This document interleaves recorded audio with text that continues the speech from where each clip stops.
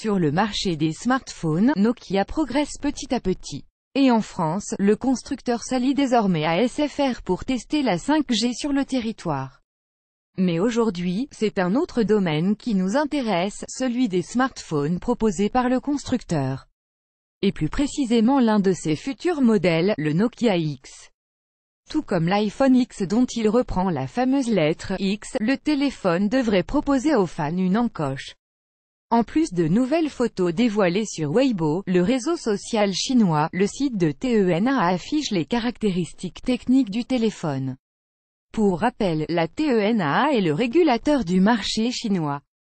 Le site de la TENA affiche donc les spécificités de ce prochain téléphone.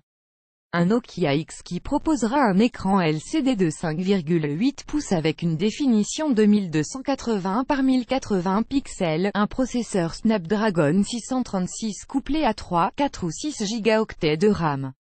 Le stockage proposé ira de 32 à 64 gigaoctets extensible micro-SD jusqu'à 128 gigaoctets niveau batterie, 3000 mAh seront au rendez-vous tandis que le double capteur proposera 16 mégapixels. De bonnes caractéristiques pour un milieu de gamme Nokia qui est entré dans le top 10 des constructeurs mondiaux.